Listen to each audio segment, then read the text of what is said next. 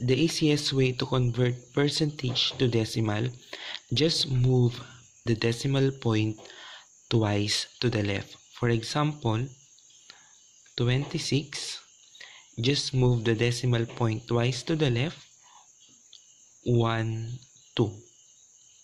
So the decimal, so in decimal form, 26% would be 0 0.26. Next is 10.3. Again, move the decimal point twice to the left. So 10.3, then move twice to the left, 1, 2. So this will become 0 0.103. So that's how we um convert percentage to decimal. Let's proceed to decimal to percentage. So in decimal to percentage, just move the decimal point twice to the right. So 0.38 twice to the right 1 2 so this would be 38 percent next 2.03 2.03 Again, move the decimal place twice to the right. 1, 2. So, 203%. So, this is the easiest way to convert percentage to decimal and decimal to percentage. In converting percentage to fraction, so since 30%, again, that is if we write it into fraction 30 over 100 since percentage is 100% so after that 30 over 100 so but the process will not end here. We need to simplify this fraction by dividing 10 to it. So by dividing their greatest common factor. So we're done with the greatest common factor. So 30 divided by 10 is 3. Then 100 divided by 10 is 10. So percentage to fraction of 30% is 3 over 10. What about 11? Next example is 11.2%.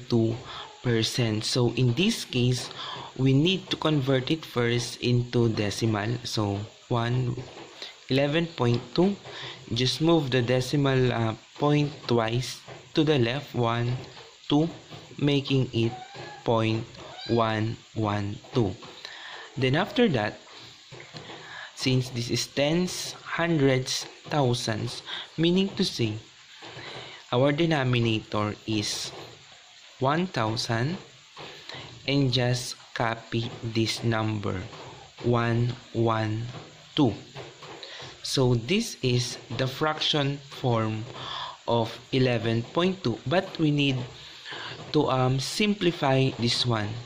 Let's divide since this is divisible by 2 2 0 then try to divide it by 2 so 112 divided by 2 is 51 1000 divided by 2 is 500 so this one is the um, fraction form of 11.2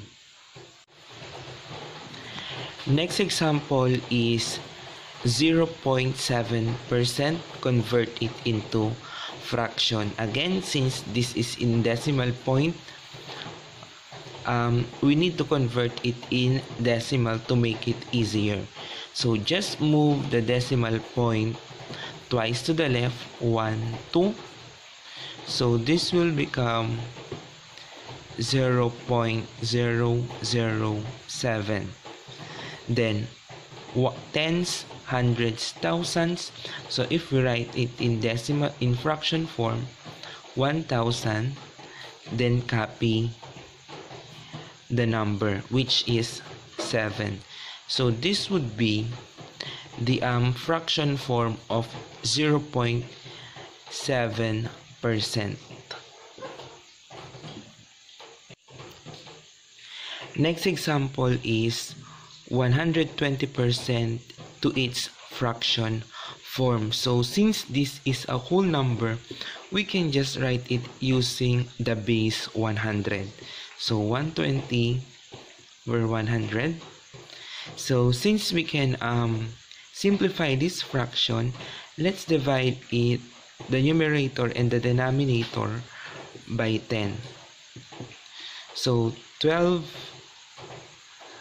120 divided by 10 is 12. 100 divided by 10 is 10. Still, we can um, simplify this one by dividing it by 2. So, 12 divided by 2 is 6 and 10 divided by 2 is 5. So the fraction form of 120% is 6 fifths.